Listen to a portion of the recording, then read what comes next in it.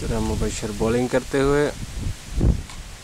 और ये अच्छी बॉल जिस पर अच्छा मंसूर ने फील्डिंग किया